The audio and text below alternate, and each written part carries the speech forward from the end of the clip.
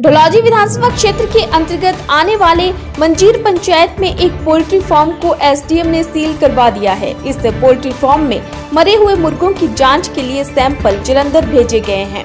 SDM सुनली किरण बडाना ने बताया कि पोल्ट्री फार्म में कुछ पक्षियों के मरने की सूचना मिली थी और उसे देखते हुए उस एरिया को अलर्ट जोन घोषित कर दिया गया है। उन्होंने वहाँ के लोगों से अपील की है कि अगर कोई इस तरह की कोई जानकारी मिलती है तो प्रशासन को तुरंत बताया जाए। और सलूनी के अंदर भी मंझीर के एक पोल्ट्री फार्म में हमें कुछ बर्ड्स की डेथ की इन्फॉर्मेशन मिली थी। वेटनरी ऑफिसर के माध्यम से। उसी के बेसिस पे हमने उस एरिया को अलर्ट जोन डिक्लेयर करा है।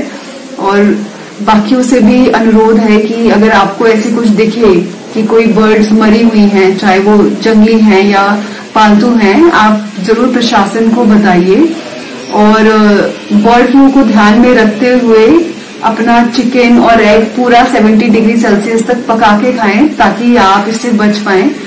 और जितने भी लोग हैं जो इनके पोल्ट्री फार्म्स हैं या कुछ ऐसे बर्ड्स पालते हैं, उनसे ये अनुरोध रहेगा कि आप वहाँ पे सफ़ाई अच्छे से मेंटेन करें, सारे प्रोटेक्टिव गेयर्स पहने। अगर कोई बर्ड मर जाती है, हमें इन्फॉर्म करें और उसको सही तरीके से दफनाएँ, ताकि बाकी लोग इससे बच सकें।